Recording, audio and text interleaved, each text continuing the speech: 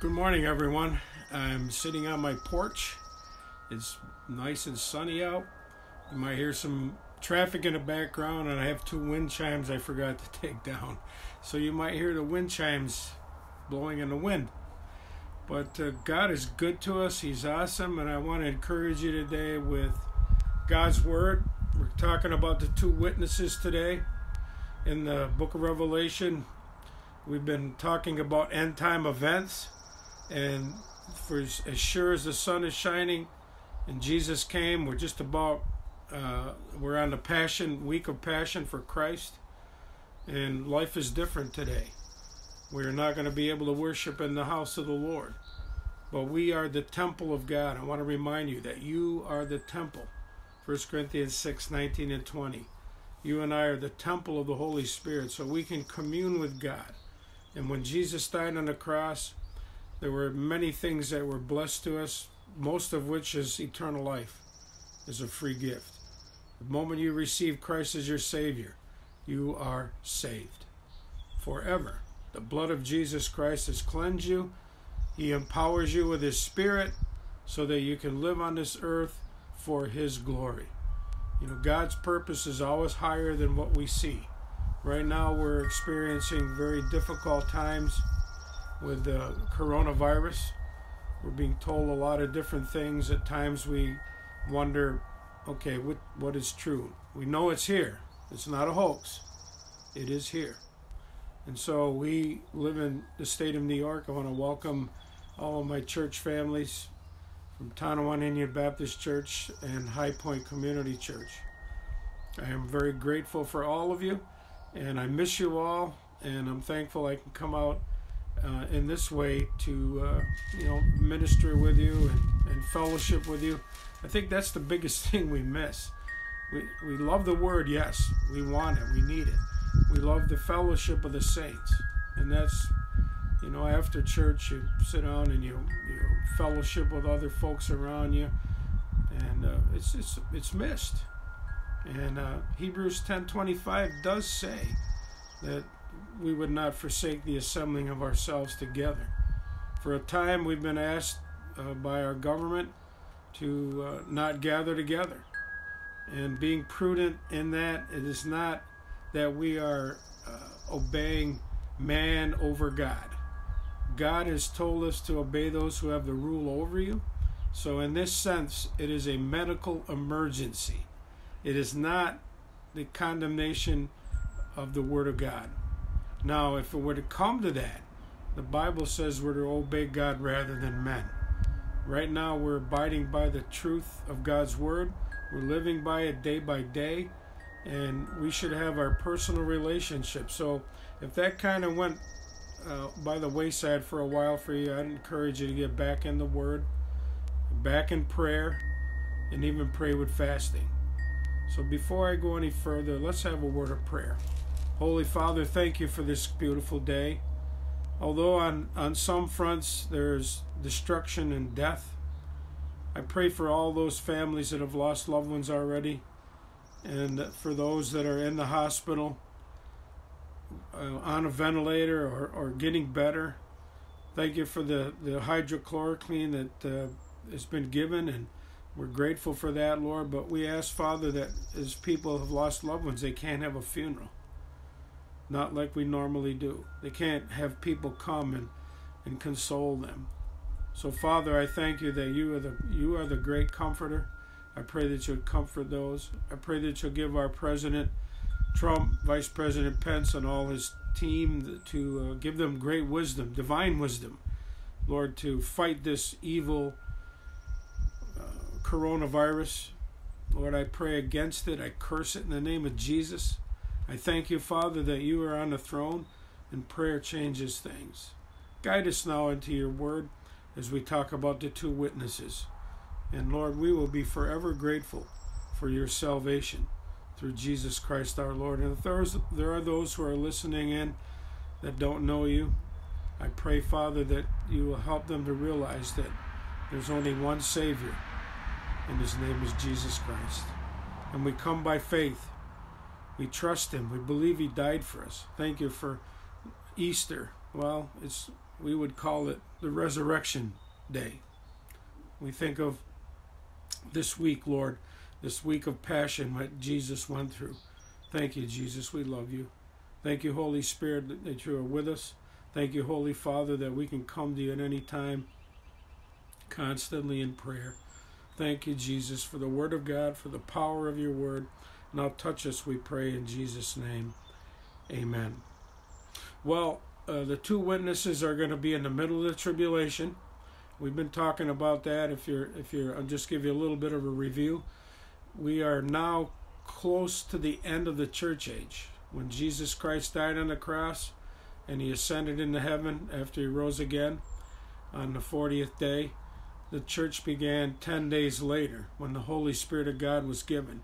And then the church began almost 2,000 years in existence now. So we are the same church that was re- was was brought forth in the early times. So we are still Christians. We are Christ followers. We follow him because he loved us and he died in our place, and he's called us to follow him. So it's it's a joy to know the Lord. Uh, we are saddened for those that don't know him and don't realize yet. Uh, during this coronavirus, uh, lives have been taken out. We have uh, acquaintances that are in the hospital fighting it right now. One gentleman named Tim was on a ventilator, and and I don't know if he. I'm pretty sure he's still there, but there's some sign of improvement. So we're thankful to God for that. But for several, there was no hope. Death was at their door. So I need to mention right now, if we just never know when we're going to leave.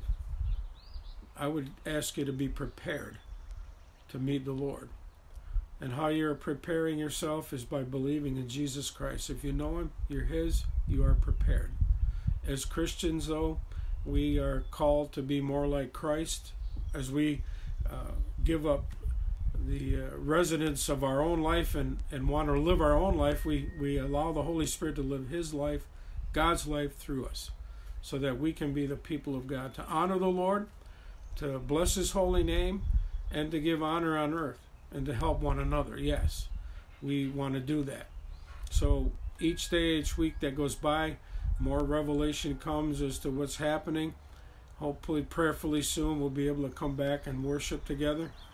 Even on on Sunday, I need to mention uh, we wanted to do something outdoor, but because of all the things that have gone on in other parts of the country with some Christians defying the government and calling the government down and that's not what we're supposed to do. We're supposed to honor them. We should be praying for them. We should not be selfish because we have God with us. Jesus said, I will never leave you nor forsake you. So we're going to have to worship this way even on Easter Sunday. And just for a time, I have spoken with the local officials and, and uh, they agree that the church is essential. Yes, we are essential. But at this moment in time, even President Trump is calling us to stay in uh, because the virus is passing. So pay attention to what's being said. I know it breaks my heart that we can't gather either, but as the leader, as the pastor of the church, my responsibility is to watch over the flock. And so if if we were to gather and something happened and somebody got the virus, I, I would never be able to live my, with myself knowing that I had the opportunity prior to make the right decision and to honor the Lord. And I know it's going to break hearts that we can't come together even outside, but um, I, we want the best possible relationship that we can have with president, right down local officials, mayors, town supervisors, people that are in our community that are afraid. And if they were to see us gathering, uh, things could happen in a negative way very quickly. So, to avoid all of that, we will come out again on Easter Sunday with a message and uh, some music, and we're going to worship God together. We're gonna we're gonna do what God wants us to do. Now there will be a lot of people that disagree with me, but I look at it this way: God didn't call anyone else right now but me to lead Tonawanda Indian Baptist and High Point community. And that's not being selfish, prideful. That's a calling that God put on me. And I am thankful that I am His servant. And so I just pray that you'll all have a blessed Easter. And we'll get to that in the closing part of this. But let's get right to what we're talking about today the two witnesses. Remember, in the middle of the tribulation. Now, before the tribulation begins, 1 Thessalonians 4 13 through 17 describes the rapture. That means the Christians, those of us who belong to Jesus Christ, who've accepted Him by faith, when the trumpet blows, the dead in Christ will rise first, and then we who are alive and remain will caught up together with Him in the clouds. Now, let me answer that question again because it always comes up. Well, the Bible says when you die, you're absent from the body and present with the Lord. Yes, but your body goes in the ground. It's it's not sleeping, it's dead. But your real person is in heaven with the Lord. And that's God's promise. First Thessalonians 4 13 18. So God is faithful. And then we will be taken up. And at that moment, a seven year tribulation will begin on the earth. God will allow the Antichrist, which we've talked about in past sessions, to assume authority the devil will power power him. And just like there's a holy trinity, God the Father, God the Son, God the Holy Spirit, the devil will have an unholy trinity. The beast, the antichrist and the false prophet. However, their fate is at the end of this seven year period. There's only seven years that they'll be, be around. And uh, God is going to deal with them in the battle of Armageddon at the end of this seven year tribulation. Right now, we're talking about the middle of it. It's broken down into two parts. Three and a half years, relatively peaceful in the beginning, because our Old Testament prophets could not see the church age that we're living in now, but they could see beyond the church age, and God allowed them to see what would happen uh, right after and during the tribulation. So Daniel talks a lot about it in Daniel 9 24 to 27. He talks about a covenant that he'll make with Israel for them to worship in their temple on the temple site. Right now, they're not doing that. There's there's war. If that were to happen without the Antichrist, there would be little literal war.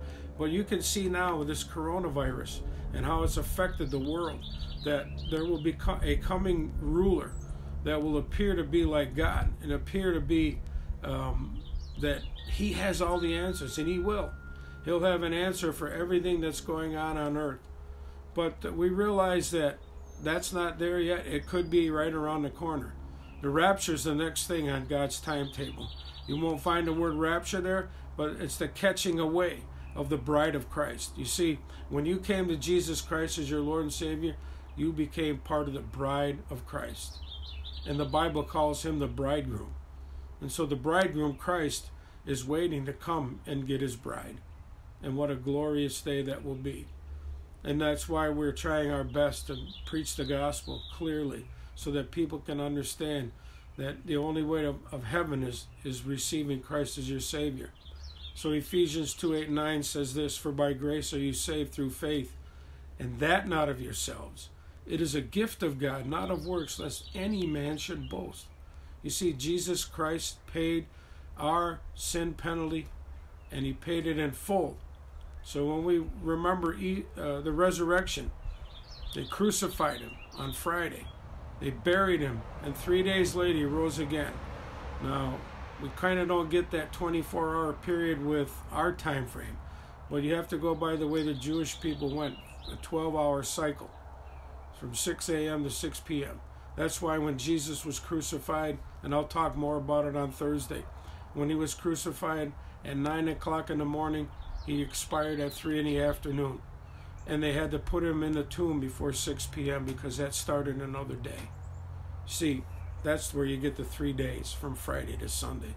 It doesn't compute with our cycle of 24 hours that we live by here in America or live by today.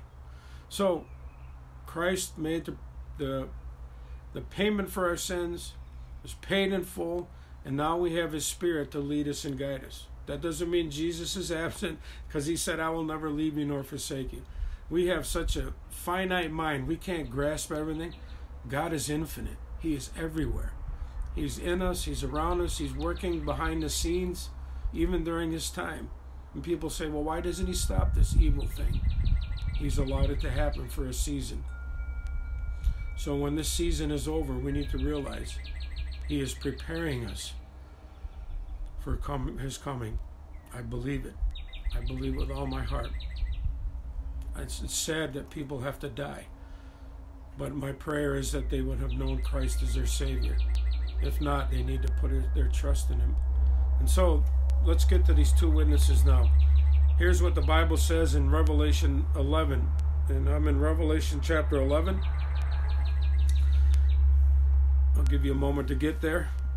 Revelation 11, I was given a reed like a measuring rod and was told, Go and measure the temple of God and the altar and count the worshippers there.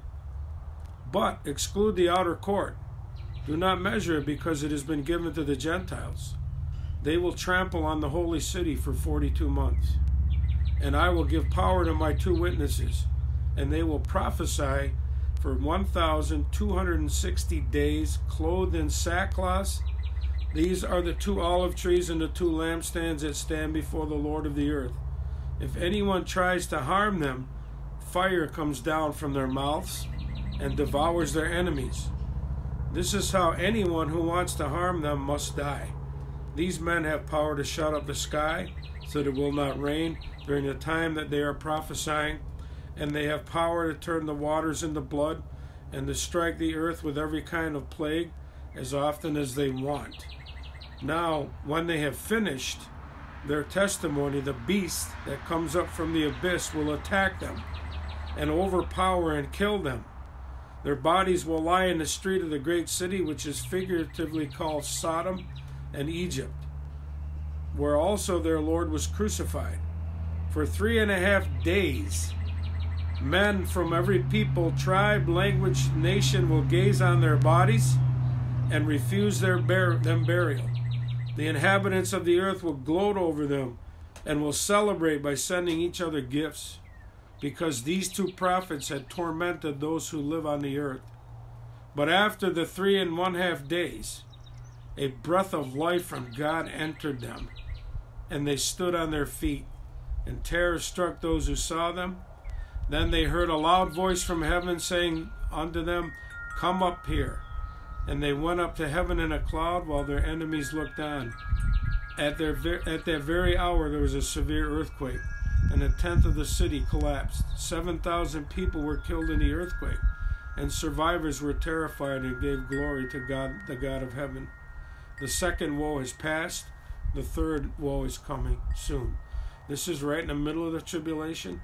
You'll notice some things that are said, and we're trying to figure out who these two witnesses are. There's been a lot of discussion over the centuries about who they are, and uh, we can probably conclude the first one to be Elijah, because Elijah was taken up in a whirlwind and he, he did not experience death, physical death. That's found in 2 Kings 2 9 and 11. 2 Kings 2 9 through 11. So uh, there were other things. They, they were given the same power, uh, these two witnesses, like Elijah had when he was on earth. And so it's, it's easy to say, you know what, the first one will be Elijah. The second one is a little more difficult in that there were two men that didn't see death yet on the earth. Enoch was one of them. And uh, so we realize that some people believe Enoch was the second witness. But if we read a little further and we understand something about the third one, is Moses. Moses led the children of Israel out of bondage in toward the uh, promised land. They crossed the Red Sea. God did mighty, uh, mighty, mighty plagues came on Pharaoh. And so you see some of those things happening now. It's not going to rain while these two witnesses are here. They're going to hold the sun. They're going to be in charge. They're going to afflict torment on the earth. And there's going to be, I can, you can see it now because we can see through our present day uh, social media you know, we have television, we have cameras all over the world. We can find out what's going on in Israel instantly, or Russia, or any other nation, China. Of course, those are the ones that are communists. They don't want uh, the United States to know anything about what they're doing. And uh, you know, some of our some in our country uh, are promoting that communist view, and we, we're not communists. We're Americans. Actually, welcome to America because I'm Native American. Welcome to my country. I like to say that every now and then. But it's really God's country. Everything we have belongs to God. Everything you have, everything you enjoy, your home, your family, we all belong to Him. And so we don't have to fret during this time. When we have cause to worry, and you know somebody goes in to the hospital, yes, there's great concern. We pray fervently that God will raise them up. I have a brother-in-law, Bill, in the hospital, and he's improving, thankfully. This is the last word I heard. And so I'm, I'm very thankful. He didn't have didn't have coronavirus. I'm sorry. Um, he was uh, diagnosed with leukemia last year and had a bone marrow transplant, and that went well. And uh, yesterday uh, he had a, a stroke on the, on the left side of his body, but he's doing well and improving better, and so we're grateful for that as we continue to pray. I haven't gotten an update yet today, but we are certainly praying over him that God will raise him up. So you see, when we have fret in our life, when we worry, we go to prayer. We believe God has the power to heal and to do whatever He chooses to do. But He also allows death to happen. He also allows people to die in the coronavirus. And then as we read in, in Revelation, during a tribulation, again, let me say that the Christians won't be here. So there will be no witness. That's why we talked about the 144,000 Jews last week that he was going to raise up and will raise up to preach the gospel. And another verse comes to my mind, Galatians 1 8 and 9. It says, But though we are an angel from heaven preach any other gospel and that you have received, let him be accursed. So even an angel can come and and if there are fallen angels that follow the devil, they're the deceivers. They try to trip God's people up, and they're trying. They keep people uh, that are outside of Christ that haven't received Him yet. They keep them in delusion, and that's happening right now today. So we need to get the gospel out. We need to stand firm on the gospel. It is the reason why the Lord left us here. We're not just talking about information.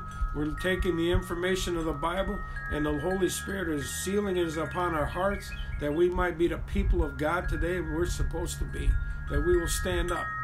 Now, if the government came and told us as preachers that you can't preach the gospel anymore, that's when we would say, Excuse me, I'm sorry, but we're going to stand up for Jesus and we're not going to stop preaching the gospel. We're going to stand for Him because it's the least we could do. On Friday, we will remember his crucifixion.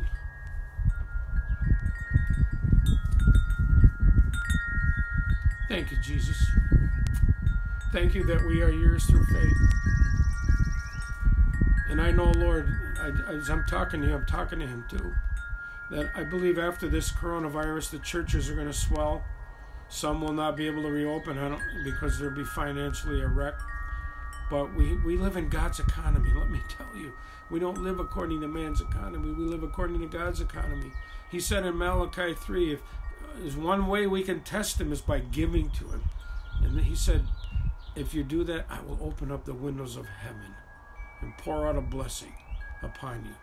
And so, Father, thank you for your blessings. We don't live for money. We know we need it to survive. And in this tribulation time, people are going to have to take the mark of the beast in order to buy or sell. So, what about the Christians that are going to come to Christ then? There will be people that we know, maybe somebody in our family, maybe somebody in our extended family, maybe somebody next door. When the rapture happens, we're gone. But the 144,000 will come, and hopefully they will believe the record of the gospel of Jesus Christ. So the two witnesses describes here. So the second one uh, is Moses, I believe. Moses um, appeared with Elijah at the Transfiguration in Matthew 17. It's interesting they both were there, and then they went back to heaven. But you remember in Acts chapter 1 when Jesus, and I'll talk more about it on Thursday, when Jesus uh, ascended into heaven, there were two angels that stood by and they the men that were watching, the disciples watched them leave. And they said, Why stand you here gazing? This same Jesus that has left will come in so like manner to the same spot. So Jesus will come back to the Mount of Olives on that that day, uh, that when that at the end of the uh, tribulation, that's when he will step down on the earth, and then all hell will break loose. The devil and all his hordes would come up against the Lord, and we who are with the Lord will come with him. If you, we'll get to that in, the subsequent uh, chapters as we study together, that we will come back with him, and he will defeat the armies of the earth that are against him, and the Antichrist who has led them, and the devil. And the beast and the false prophet will be cast in the lake of fire. The devil will be chained for a thousand years. There will be a 1,000 millennial time where there will be peace on the earth.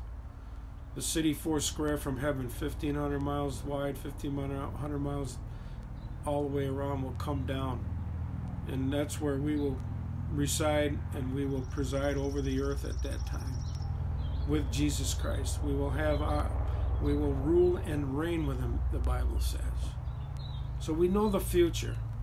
It's hard to go through it right now. It's hard to realize that this may be over and this will pass, but there may be another one because Jesus said there will be pestilences out of Matthew 24 as we read that. So it's interesting that the two witnesses will be uh, martyred, and for three and a half days their bodies will be uh, on the streets, and they won't even allow them to uh, bury them.